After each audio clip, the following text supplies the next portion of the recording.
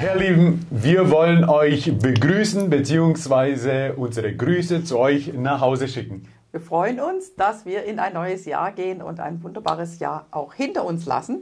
Come on. Und ich hoffe, dass du echt eine Begeisterung, eine Hoffnung, einen Glauben für 2024 hast. Und wir wollen euch sagen, was Gott uns gezeigt hat fürs neue Jahr. Und wir hoffen, dass ihr eure Herzen weit aufmacht und es annehmt und es Come euch das ganze Jahr begleitet. Und ich bin wirklich begeistert. Ich habe wirklich den Eindruck, dass Gott uns in eine neue Phase, in einen Yes. neuen Bereich Oh ja. führen wird. Und ich glaube, dass da eine ganz besondere Offenbarung notwendig ist. Aber keine besondere Offenbarung, eigentlich eine übliche Offenbarung, die wir vielleicht so ein bisschen vernachlässigt haben, aber die Gott mir wirklich wieder irgendwie so stark aufs Herz gelegt hat. Und ich glaube, dass das uns in ein, so viele Durchbrüche führen wird in unserem Leben und dass wir sehen werden, wie das Königreich Gottes ausgebreitet wird. Nicht nur bei uns persönlich, sondern in unserer Familie, in unserer Umgebung, in unserer Region, Stadt, Nation und sogar weltweit. Ich glaube wirklich, dass es eins der wichtigsten Sachen ist in unserem Leben. Genau, und wenn wir das erfrischen, was schon da ist Mhm. und das neue,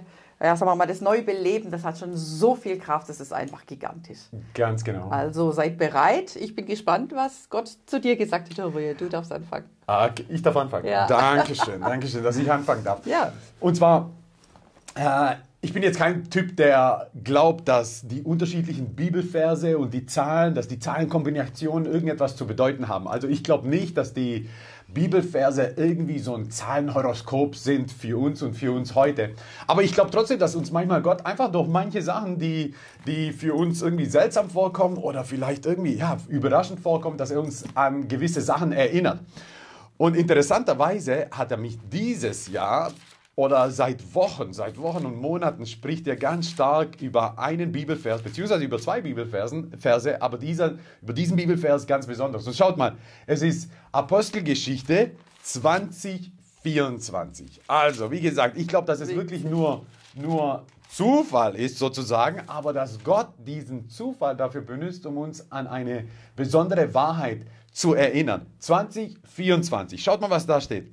Da ist, da ist der Apostel Paulus ist in Milet und er ruft die Leiter, er ruft die Leiter aus Ephesus, dass sie kommen und sich von ihm verabschieden, beziehungsweise er mit ihnen noch ein paar Gespräche führen kann, aber sich auch verabschiedet, weil er sagt, ihr werdet mich nicht wiedersehen. Ich werde jetzt nach Jerusalem gehen, dort werde ich gefangen genommen werden, dann nach Rom kommen und wie es dann aussieht, müssen wir mal schauen. Aber schau mal, was er sagt in Apostelgeschichte 2024. Er sagt, aber ich erachte mein Leben nicht der Rede wert. Wow. Aber ich erachte mein Leben nicht der Rede wert, damit ich meinen Lauf vollende und den Dienst, den ich von dem Herrn empfangen habe, das Evangelium der Gnade Gottes zu bezeugen. Schau mal, was er sagt. Er sagt, ich erachte mein Leben nicht der Rede wert. Ich glaube, dass das eine, eine Wahrheit ist, eine biblische Wahrheit ist, die Jesus ausgelebt hat, die uns vielleicht auch in der westlichen Welt ein bisschen abhanden gekommen ist, ist sein eigenes Leben nicht wert zu achten. Ja, es geht ja eigentlich immer darum, was kann ich mir noch Besseres tun, wie kann es mir noch besser gehen. Und das ja, Evangelium genau das Gegenteil. Absolut. Die meisten Bücher verkaufen sich auch am besten, wenn der Titel sozusagen. Ich, ich, ich. Ganz genau. Wenn der Titel irgendwie aufzeigt, hey, es geht um mich, Ja. es geht um meine Verbesserung, um Ja. mein Wohlergehen und so weiter. Interessanterweise habe ich von einer Studie gehört, die in den 80er Jahren durchgeführt wurde. Und dann die Studie wurde vor ein paar Jahren nochmal durchgeführt. Und die Studie handelte davon, die Frage war, denkst du, dass du was Besonderes bist? Und in den 80er Jahren haben 10%, also einer von 10 hat gedacht, er ist, oder von sich selbst gedacht, er ist was Besonderes. Wow. Und vor ein paar Jahren, als die Studie wieder durchgeführt wurde, waren es 80 Prozent. Also Was acht für eine von, zehn, Veränderung. acht von zehn Personen Krass. haben von sich behauptet und geglaubt, dass sie was Besonderes sind. Und schau mal, jeder von uns ist was Besonderes. Jeder von uns, die Bibel sagt es im Psalm 139, jeder ist auf eine wundervolle, wunderbare Art und Weise perfekt gemacht von Gott. Das heißt, jeder von uns ist besonders. Aber wenn diese Besonderheit darauf beruht, dass ich Lob, Anerkennung bekomme, dass es immer darum geht, dass es mir besser geht, dass Ja, das was ja, mit dem Besonders zu tun hat. Zu was das führt, ist dann Individualismus. Egoismus und sogar Narzissmus. Und statt Wow. dass du erfüllt wirst wirst du eigentlich komplett leer. Du willst noch mehr und dass es noch mehr um dich geht. Ganz genau. Wenn du unzufrieden bist, denkst du, es muss noch mehr um dich gehen. und dafür sind wir nicht geschaffen worden. Ja, krass. Dafür sind wir nicht gemacht worden. Ja. Und das ist eins von den Dingen, wirklich, was ich glaube, dass in 2024 Gott neu beleben wird, ist dieses, dieser Gedanke, sich, sich sein eigenes Leben nicht wert zu achten. Mhm. Das bedeutet nicht, dass du wert, nicht wert bist. Es bedeutet auch nicht, dass du nicht besonders bist. Es bedeutet nur, dass das Besondere an deinem Leben Gott ist, der besonders ist. Ja. Und um das geht es. Das ist diese Besonderheit unseres Wesens, ist, dass wenn wir Gott besonders achten, besonders schätzen, be wenn Gott besonders ist in unserem Leben, das ist das, was uns besonders macht. Und, und schaut mal, er sagt, ich erachte mein Leben nicht der Rede wert. Warum? Damit ich meinen Lauf vollende. Wir werden unseren Lauf nicht vollenden können, wenn wir denken, die Welt dreht sich um uns. Wenn wir denken, dass das Besondere an uns ist, wenn wir gesehen werden, wenn wir geachtet werden, wenn wir gelobt werden, wenn wir wertgeschätzt werden, wenn wir, wenn wir sozusagen die Schulterklopfer bekommen. Das ist nicht das, was uns hilft, unseren Lauf zu vollenden. Unseren Lauf werden wir vollenden, wenn wir unser Leben nicht wertschätzen Wow. und nicht wertachten.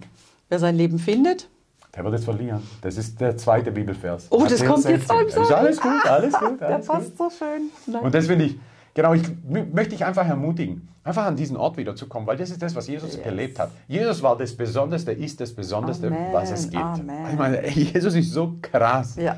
Aber er erachtete sein Leben nicht wert. Warum? Um es zu geben für all die Ja. an ihn glauben, dass sie ewiges Leben haben. Ja. Und das ist ein Vorbild für uns. Und das muss ein Vorbild für uns immer sein, dass wir unser Leben nicht wert achten, beziehungsweise bereit sind, unser Leben aufzugeben. Und das klingt so schön, aber es ist gar nicht so einfach. Es ist gar nicht so einfach, weil jeder von uns kennt es, dass wenn, wenn dir irgendetwas nicht passt, wenn du irgendwelche Gefühle hast, wenn du denkst, okay, es müsste anders laufen und so weiter und es ist gar nicht so einfach. Aber das ist ein, eine besondere Offenbarung, die so auf einer biblischen Grundlage steht und die so wichtig ist für die Zukunft, für die Gemeinde, dass wir sie einfach neu ergreifen wollen. Ja, das ist einfach ein anderer Lifestyle. Wenn es nicht mehr um mich geht, Mhm. genau, einer achtet den anderen höher als sich selbst, schau nicht auf das, was Seins ist, sondern auf das, was des anderen ist. Und gerade für die Weihnachtszeit und so weiter, da geht es darum, was kann ich leckeres essen, was kriege ich für tolle Geschenke, was weiß ich, ich, ich, ich. Und das ist ein guter Zeitpunkt fürs neue Jahr zu sagen, hey, genau, wir gießen uns aus. Amen. Das Evangelium für Amen, weil Jesus. darum geht es. Ja. Darum geht es. Und dieses sich selber nicht wert zu achten. Ich finde es, ich finde es Hammer. Das begeistert mich. Wobei du natürlich jemand bist in Christus, sich selber nicht wert zu achten, das klingt wie ein kleiner Fußabtreter, finde ich, genau. Aber es geht darum, dass ich das, was ich bekommen habe von Gott, einfach ausgieße für ihn. Gell? Weil es war, um was es geht, damit ich meinen Lauf vollende, den ich von Christus empfangen habe. Wir können nicht, wenn wir an unserem Leben festhalten, wenn wir daran festhalten, dass wir wertgeschätzt sind, dass wir die Plattform bekommen, dass wir gesehen werden, dass ja, wir ja, ja. geachtet werden, dass wir gelobt werden, werden wir unseren Lauf nicht vollenden können. Warum? Weil wir dann zu beschäftigt sind mit uns selber. Und wer denkt nicht, boah, eigentlich hat, hat man noch gar nicht entdeckt, was in mir ist und was ich alles kann und was ich alles vergaben habe. Aber darum geht es gar nicht. Absolut nicht. So, bevor du jetzt deinen Kaffee, nee, Tee? te- deinen Tee zu dir nimmst, Ja. was hat Gott zu dir gesagt? Ich dachte, da ist noch einen zweiten Teil. Hab ich, Ach, kommt den mischen? Ja, okay. Also genau, was mich voll angesprochen hat fürs neue Jahr, ist der Psalm 91. Und ich denke, die meisten von uns kennen auf jeden Fall den Psalm 91 und den sollte man kennen. Und ähm, viele haben ihn auch schon auswendig gelernt und Mhm. manchmal merkst du, hey, ich kann ihn gar nicht mehr so gut, kann ich euch einfach nur ermutigen, ihn auswendig zu lernen.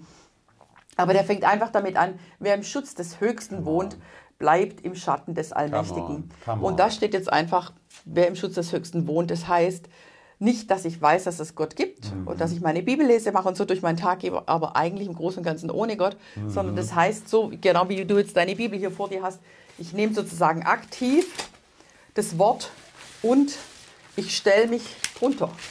Genau, ich ohne... ich habe das Ding ist kaputt. Okay, Also unser Schirm, Wort- nicht unser Studio hier. Genau. ähm, also genau, Gottes Wort geht nicht kaputt, aber mein Schirm ist jetzt tatsächlich kaputt gegangen. Der Tester war auch schon kaputt. Egal, ist nicht mehr zugegangen. Jedenfalls, dass ich unter Gottes Schirm bin, das muss ich aktiv machen. Dazu muss ich den Schirm aufmachen. Und Gottes Schutz ist eigentlich immer zur Verfügung, aber manchmal merken wir es nicht so.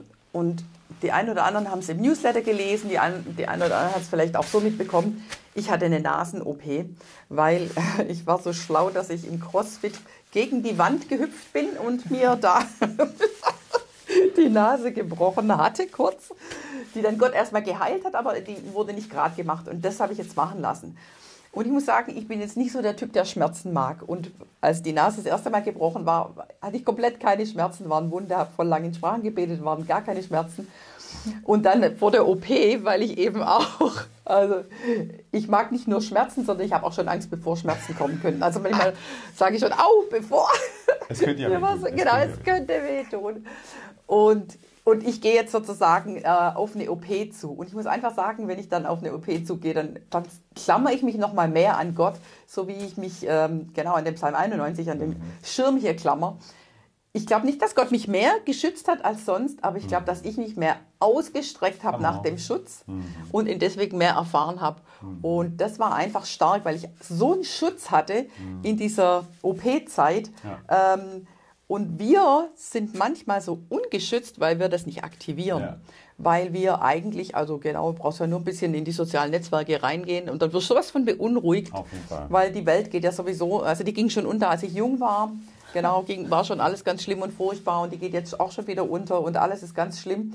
Aber wenn du tatsächlich unter Gottes Schutz bist und dich gar nicht so zulaufen lässt mit diesen ganzen negativen Informationen, dann wohnst du anders, dann Absolut. lebst du anders, dann geht es dir anders. Definitiv. Du musst es aber aktivieren. Und wir aktivieren so gerne alles andere und dann am Schluss beten wir noch schnell, oh Gott, schütze mich. Aber in uns haben wir Unfrieden. Aber ja. wir müssen uns positionieren für Frieden. Ja, voll gut. Und der Psalm 91 ist nicht, der Herr ist mein Hirte.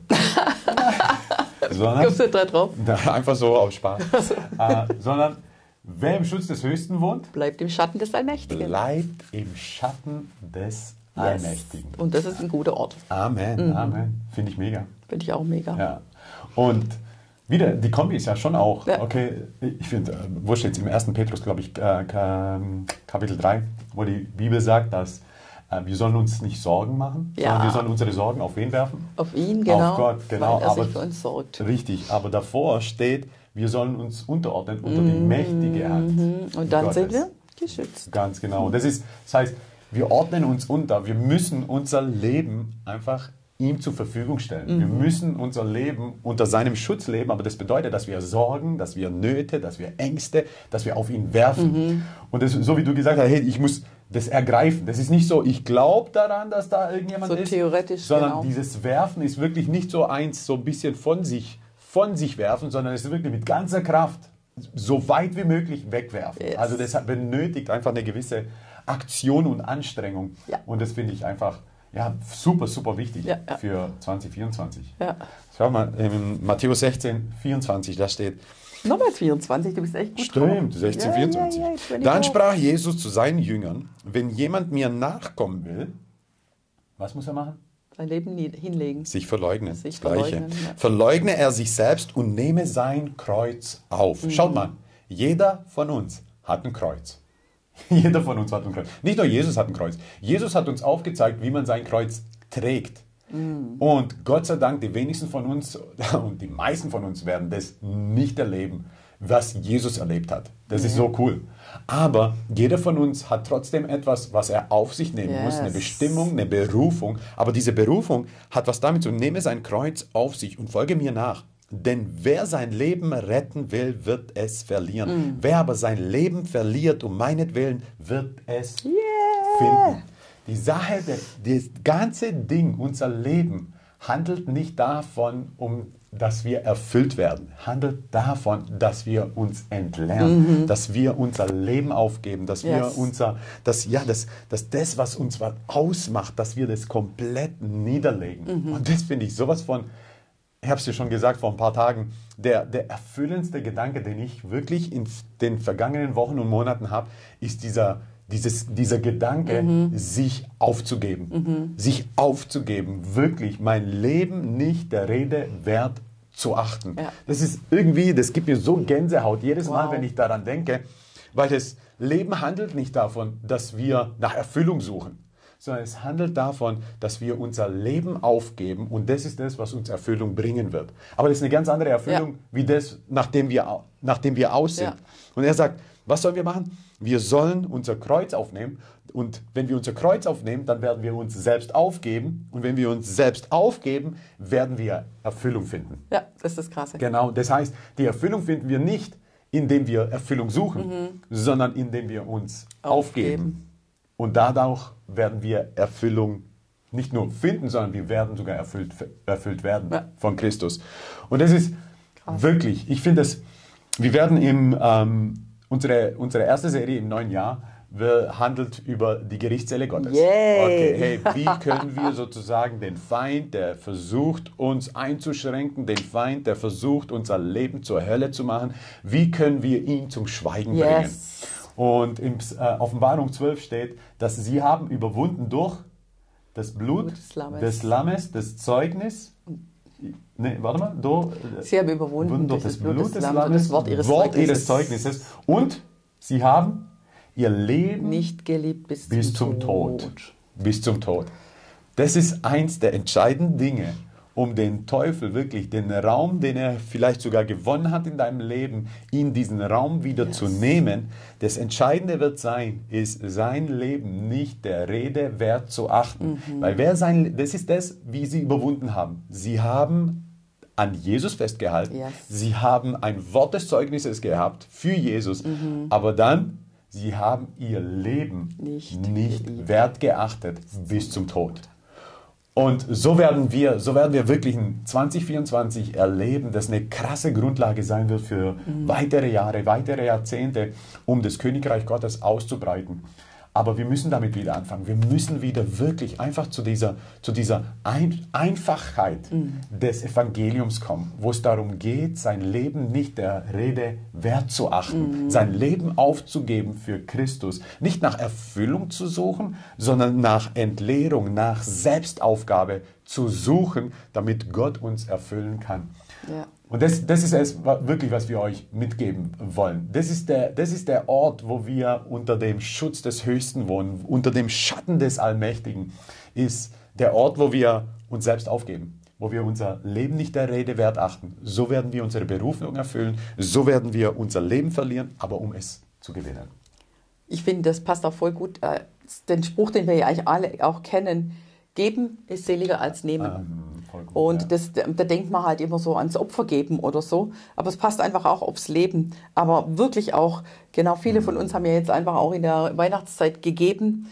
Äh, wir waren jetzt vor, genau, ein paar Tagen sind wir gegangen, haben unser Auto vollgeladen, einfach mit Sachen, für eine Feier für die Berber hier in Esslingen, also die Menschen, die ohne Wohnung sind, ohne festen Wohnsitz. Und ich hatte so eine Freude dabei, die Mandarinen auszuladen und die Lebkuchen und so weiter. Und einfach, wir haben die Leute richtig gestresst, weil wir so viel Zeug gebracht haben, dass die, die sich darum kümmern mussten. Aber die haben sich einfach so gefreut und das macht so Spaß. Oder wenn du nach Uganda gehst und, und du nimmst Dinge mit und du freust dich schon drauf, wenn du das weitergeben kannst. Und du siehst dann eine, ähm, genau, eine Lehrerschaft, die, die waren so dankbar, die haben gesagt, hey, wir haben für einen Laptop gebetet. Voll das ist eine cool. Gebetserhörung für uns. Und das, das gibt also eine Freude. Geben ist seliger als Amen. nehmen. Wir denken alle, wir brauchen noch so viel Zeug, aber es macht so viel Freude, einfach zu geben, Voll sich gut. auszugießen. Ja. Voll gut. Hey, und Lebensmotto ist gut. Ja, die in unserem Haus, die die IGE regelmäßig besuchen und vielleicht die auch regelmäßig einschalten, ihr wisst, der ganze Dezember geht bei uns darum, alles, was bei uns reinkommt, geht auch in die Mission. Das raus, heißt, raus, alles, raus. was bei uns im Dezember reinkommt, yes. all, das, all die Segnungen, all die Opfer, alles, was an finanziellen bei uns yes. äh, reinkommt, wird auch im Dezember wieder rausgehen yes. in die Mission, um denen zu helfen, die es nötiger haben wie wir, die nicht so viel haben wie wir, yes. die auch in Umständen leben, wo sie ja von Tag zu Tag, ehrlich gesagt, nicht wissen und Gott glauben müssen für Versorgung und nicht wissen, woher es kommen, kommen wird. Und deswegen wollen wir den letzten Tag im Jahr nochmal nehmen um wirklich einfach großzügig zu geben. Yes. Um unsere Geschwister in anderen Ländern, wo es denen nicht so gut geht, die in Verfolgung, yes. die in Armut, die in Hunger in und Gefängnis. Leid, in Gefängnissen Natur. einfach genau äh, mhm. aushalten müssen, dass wir sie mit unserem Geben unterstützen. Aha. Und deswegen lasst uns gemeinsam, hey, ich möchte einfach einen Moment nehmen, dass Gott zu dir sprechen kann. Was ist das, was du geben willst? Was ist das, was du geben kannst? Was ist das, was Gott dir aufs Herz legt und was dir Freude macht zu geben? Und lasst uns großzügig sein, um unsere Geschwister zu segnen in den Ländern, wo es ihnen finanziell nicht so gut geht wie uns hier in Deutschland. Amen. Amen. Mhm. Halleluja. Isa, würdest du für dieses Opfer beten, dass es ja. einfach in die Hände von Jesus kommt, ja. dass zwar die große Summe, die wir geben werden, mhm. dass es noch multipliziert wird Amen. und noch so viele Menschen mehr mhm. ernährt yes. und unterstützt. Jesus, wir danken dir, dass du uns Finanzen anvertraut yes, hast Lord. und dass wir deine Verwalter sein dürfen. Halleluja. Und wir wollen dir einfach mit Freude dieses Geld geben, das, was du uns gegeben hast, um es dahin zu senden, wo du möchtest, dass es yes, hingeht, an, die, yes, yes. an unsere Geschwister, an unsere Familie in, in Asien, in Afrika, bis an die Enden der Erde. Vater, Amen. dieses Geld soll einfach wandern bis ans Ende der Erde und Veränderung bringen und Hoffnung bringen und Ermutigung bringen. Mhm. Und Herr, wir segnen das Opfer und wir Halleluja. segnen jeden Einzelnen, der gibt. Vater, dass, dass Freude kommt, wo wir uns ausgießen und wo wir sagen, hey, ich gebe doch noch mal mehr, als ich mir vorgenommen Amen. habe, weil der Heilige Geist an meinem Herzen zieht. Amen. Und Herr, wir wollen einfach ein großes Opfer Halleluja. in die Mission senden, ein großes yes, Opfer yes, an unsere Geschwister, die so viel weniger haben. Und wir wollen uns auch qualifizieren mhm. als Verwalter denen du viel anvertrauen kannst. Und ich danke dir dafür. Ich danke dir für jeden yes. Euro, für jeden Cent, yes. der gegeben wird, für jeden Hunderter, für jeden yes. Tausender, für jeden Zehntausender. Ich preise dich dafür in Jesu Namen. Amen. Amen. Ja, genau. Ich habe mich gerade erinnert an Ne, ein Teil meiner Botschaft ist, dass Finanzen, die wir in unseren Händen haben, Finanzen sind nicht dafür da, um in Besitz genommen zu werden, sondern um benutzt zu werden. Ja. Weil wir können Finanzen, wir können Geld nicht besitzen. Es ist dafür da, um, zu, um es zu benutzen, um sozusagen im Himmel einfach etwas in Empfang zu nehmen, was Ewigkeitswert hat. Amen. Amen. Hey, wir wünschen euch einen tollen Rutsch ins neue Jahr 2024 oder yes. falls du die Botschaft erst in 2024 anschaust, wir wünschen dir ein, ein gutes, frohes, fantastisches, gesundes, dich ausschüttendes, gesegnete, gesegnetes, voller Liebe und Freude erfülltes und dich selbst aufgebendes Jahr 2024. 2024. Wir lieben euch. Wir lieben euch.